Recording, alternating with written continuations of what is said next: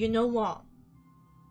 Right, this is definitely like none of you wanted to know about this, but you're gonna find out. You're gonna you're gonna hear it from me.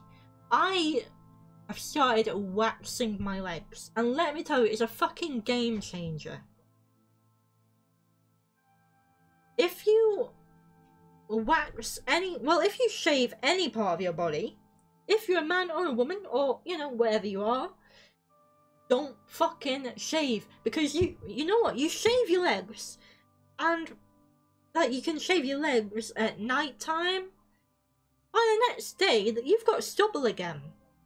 It's a waste of time i'm telling you you will save you will save so much time if you just wax your legs. And it hurts but you do get used to the pain. Um but yeah i've been waxing my legs all the boys have gone from the chat. you watch your legs, and then I'm not going to show you at the moment because I've not done it in a while, and they are starting to grow back now.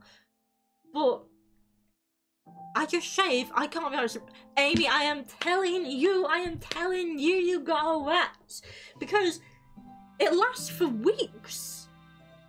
Always thought, oh, I can't be arsed waxing. I, I, I thought it was like witchcraft or something. Like, I don't believe, like, I heard the rumours. I heard all these other women talking about, oh, wax your legs, it lasts longer, and I thought, I don't fucking believe that.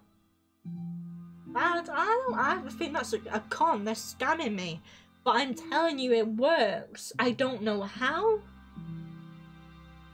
But it is worth a go, you know? Like, usually, I can't, most of the time, I can't be asked shaving if you shave, you gotta do it every other day.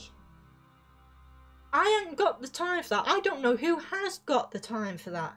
But if you wax, you you have like half an hour of the palaver of waxing, but then then you're good to go for like the rest of the month.